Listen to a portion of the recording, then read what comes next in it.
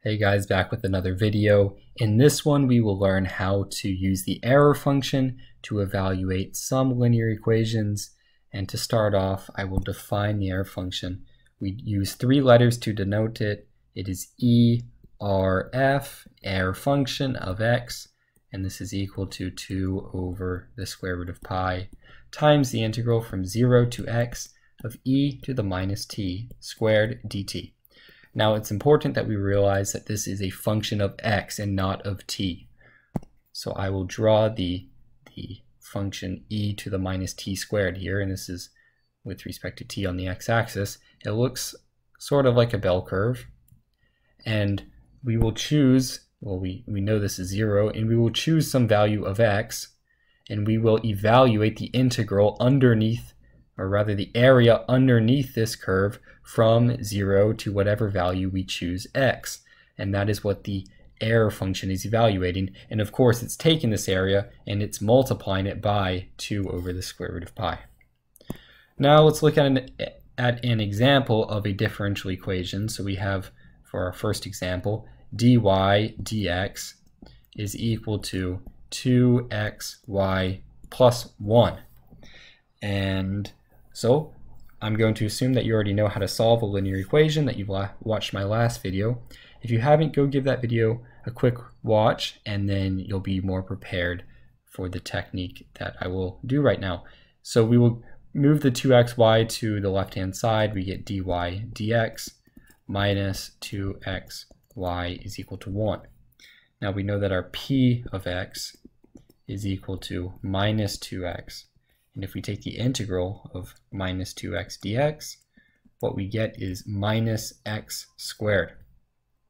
Now, our integrating factor, mu of x, will equal e to the minus x squared. And if we, if we multiply e to the minus x squared, our integrating factor, so e to the minus x squared times y, and we take the derivative of this, then we know that this will equal e to the minus x squared times our right hand side, which is just 1.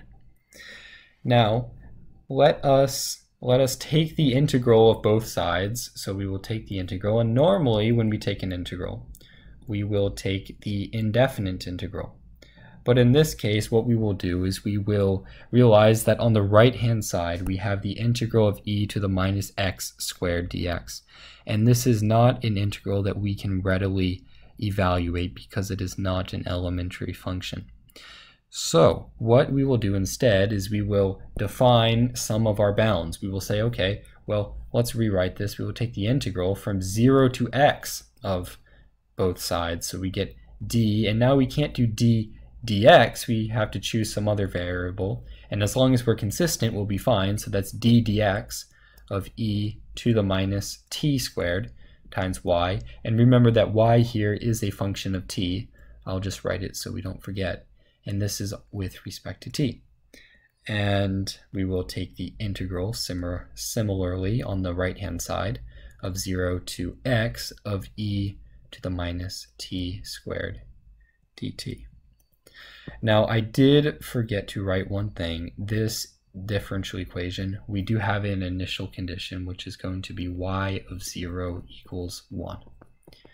And it's an initial value problem, and we need that initial condition to be satisfied. So now when we evaluate the integrals, well, the, the d dt and the dt will cancel out, and we will have e to the minus t squared times y and this is being evaluated from 0 to x. And this is equal to, well, this looks very similar to the error function that we defined above, except the error function has a 2 over the square root of pi. So what we can do is we can say, well, if that has the 2 over the square root of pi being multiplied by it, we can actually just multiply by the square root of pi over 2, and then multiply by 2 over the square root of pi, and these two cancel out to be 1.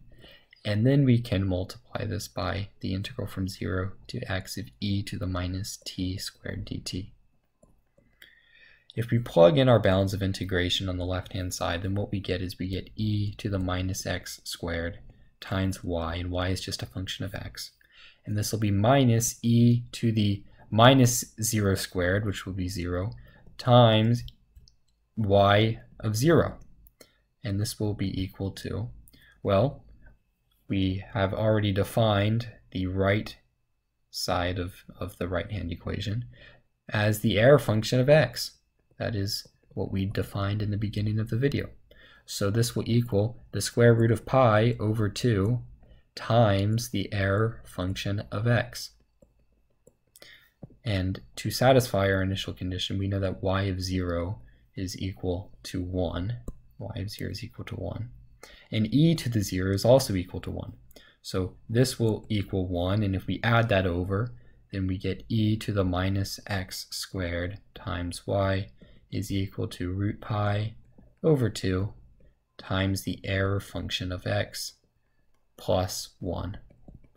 Now multiplying both sides by e to the positive x squared, it will cancel out the e to the minus x squared on the left-hand side. And then what we are left with as the solution to our initial value problem. Note there are no plus c's or constants of integration because we have already solved for our, our initial condition. We have e to the x squared times root pi over 2 times the error function of x plus 1. And this is the solution to our differential equation. Now the error function of x is very, it's a very succinct way of writing the large integral. Um, it makes it a lot easier and a lot more neat for us to write. In the next video, I will have another example. We will go over a very similar function known as the complementary error function. But I hope that you found this video helpful. If you have any questions, please leave a comment below, and I will see you in the next video.